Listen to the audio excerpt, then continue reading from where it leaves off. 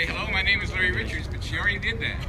Um, um, I got to tell you, like Delbert McClinton said, I'm one of the fortunate few. Yes. Um, I'm in the inclusionary housing program, and I have the most beautiful two-bedroom, two-bathroom apartment in this town.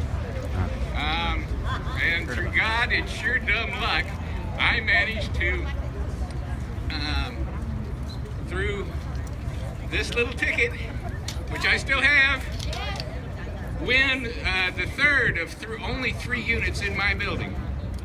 And uh, I first came to this town in um, 1996. I probably was uh, actually homeless for more than four years because it was a couple of years there before they even housed me in the Rose Hotel. And the Rose Hotel was a very substandard place for me. It was not wheelchair accessible.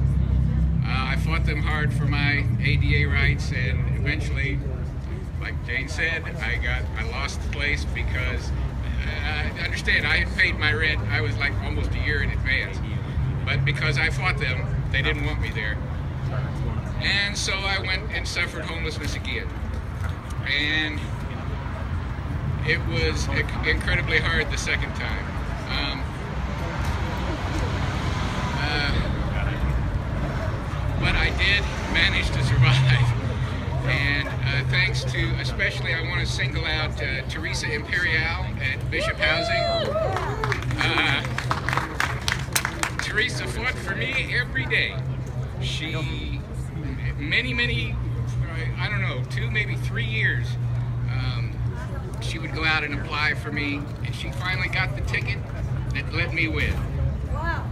And, um, you know, 71% uh, of the homeless on the streets today were like me. They used to be housed in San Francisco.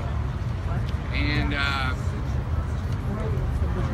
I, I believe that this progressive city cannot call itself a progressive city unless it takes care of its citizenry. Look, I, I, am the biggest capitalist here, but you got to take from the builders little bit more so that everybody here can succeed.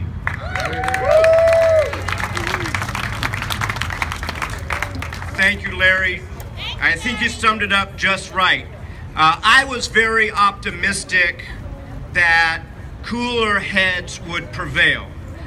When I first was on the Board of Supervisors 15 years ago, Supervisor Mark Leno, today's State Senator Leno, introduced our first inclusionary ordinance at 10%. And yes, there were those in the